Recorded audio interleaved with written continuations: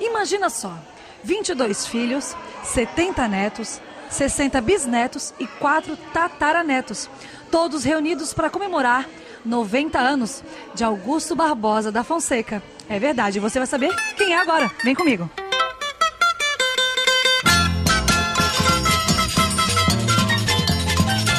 Foi em 1921 que nasceu Augusto Barbosa da Fonseca, ex-jogador de futebol, criado no Morro da Caixa, Copa Lorde e figueirense de coração. Os nove filhos homens que ele teve, todos são Havaí, ele é figueirense. Não sei se ele tem uma mágoa por isso. Conseguimos reunir a família há muito tempo e a gente tentava fazer isso e nós nunca conseguimos. E foi exatamente a Fabiola que reuniu toda a família. Todos aqueles, os 22 filhos, os 70 netos, os 60 bisnetos e quatro tataranetos, aplaudiram e abraçaram aquele patriarca que até hoje relembra de velhas e boas histórias.